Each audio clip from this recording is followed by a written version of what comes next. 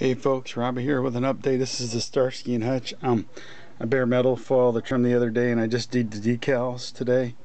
So I'm letting this uh, dry and then I'm going to clear coat it. Tomorrow it's supposed to be nice.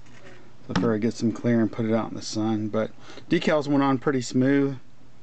Um, there's a little, I'll see we getting focused, a little Ford.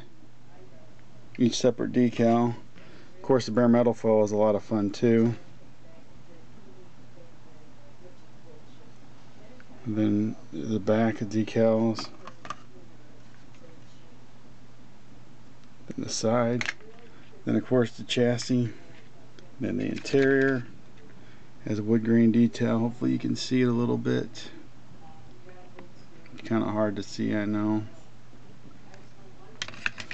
And but just kind of wanted to show you the little dry brushing on it. But this is the it's like 75 76 Ford Torino come along pretty good. I'm definitely gonna get another one. Nice kit. Oh did a little detail on on the bumper. A little flat black to there. I'm gonna work on the grill and stuff but uh, thanks for checking it out